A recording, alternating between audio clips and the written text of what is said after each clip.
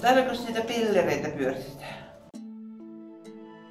Jos rouva tarkoittaa tabletin opastusta, niin täällä kyllä löytyy semmoista. Ja minkälaista opastusta rouva kaipaa? Niin, Minulla on tämmönen tabletti ja minä en oikein tiedä miten tätä käytetään. En oikein osaa aukastakaan Mites nyt on, saanko minä tänne sähköpostin? No sitten kuulemma e-reseptitkin voisi täältä lukea ja sitten on se oma kanta. Miten sinne tänne saa?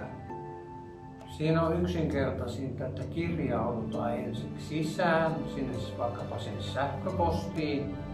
No, juu, mulla onkin täällä vihkossa on nämä kaikki tunnukset ja salasanat.